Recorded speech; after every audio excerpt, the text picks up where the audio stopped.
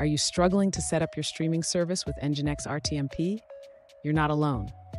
Today, we're diving into how to stream through HTTP instead of RTMP, and I promise you it's going to be worth your while. I totally get it. Setting up streaming services can be a real headache, especially when things don't work as expected. Many users face similar challenges, and it can feel overwhelming. But don't worry, we're here to tackle this together.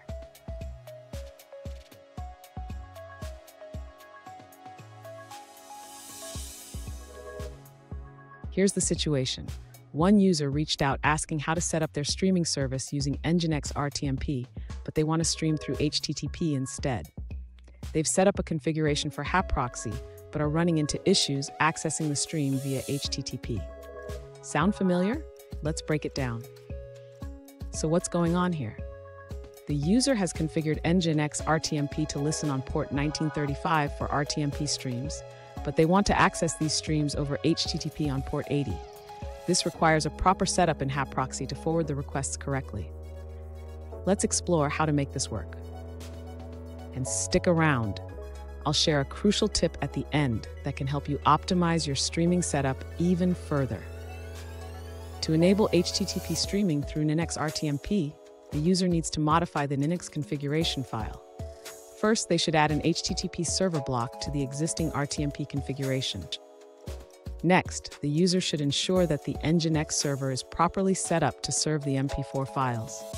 This involves specifying the correct root directory in the HTTP server block. After updating the configuration, the user must restart the Nginx service to apply the changes. This can typically be done with a simple command. Finally, the user can test the HTTP streaming by accessing the URL in a web browser or media player. They should use the format the IP i2view.mp4. Fun fact Did you know that the first live stream was broadcasted in 1993? It was a performance by the band Severe Tire Damage, and it was a huge leap for technology. Now let's look at the answers provided by other users. This user explains that the video client, like VLC Player, needs to know the protocol it's using. Therefore, accessing RTMP content through HTTP directly won't work without modifying the client. They suggest using port 80 for the RTMP server, but caution that this isn't ideal. Additionally, they mention that to pass RTMP content through HTTP, both the server and client would need to convert packets, which could reduce performance. They also introduce RTMP-T, a method to tunnel RTMP through HTTP, but warn it can add latency and may face firewall issues. Let's check out another perspective from a different user. This user points out that HTTP and RTMP are fundamentally different protocols. They explain that you cannot transfer RTMP packets through HTTP without significant extra work. Instead, they recommend using HTTP live streaming, or HLS, as a better solution. HLS is supported by the Nginx VOD module and can be easily configured.